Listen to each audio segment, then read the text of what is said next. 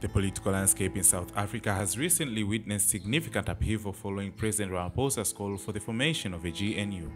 This proposal aimed at fostering cooperation among political parties, particularly the ANC and the DA. President Ramaphosa's call for a GNU came in the aftermath of a deliberative session of the ANC NEC held in Boksburg. The GNU, characterized by its inclusivity and multi-party coalition, seeks to transcend partisan divides and address pressing national issues. By inviting all political parties, including the ANC and the DA, to participate in national governance, Ramaphosa aims to foster unity and collective action in confronting the challenges confronting the nation. However, the proposal has met with resistance from certain quarters within the ANC, particularly among the ANC members who oppose collaboration with the DA. Concerns have been raised regarding the potential repercussions of dissenting members indicating a climate of internal discord and apprehension.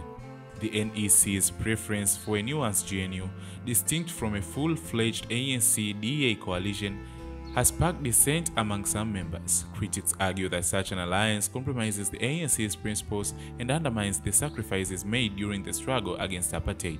Figures like Lindiwe Zulu, a prominent ANC heavyweight, have vocally opposed the idea, denouncing it as a betrayal of the party's historical legacy. Moreover, ordinary ANC members and allies have voiced skepticism regarding the feasibility and desirability of entering into coalition with the DA. Questions have been raised about the compatibility of ideologies and the implications for the ANC's grassroots support base. In contrast, Proponents of the ANC-DA pact argue that it offers a pragmatic solution to national stability and governance challenges. They contend that collaboration with the DA, despite ideological differences, is necessary for effective governance and policy implementation.